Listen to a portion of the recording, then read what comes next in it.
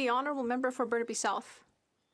Not only does this government have the worst climate record in the G7, but according to the Environment Commissioner, the emissions reductions plan is just a fantasy. It's based on overly optimistic projections and non existent policy. When will this government pretend that it's stop pretending rather that it's doing something about the climate crisis?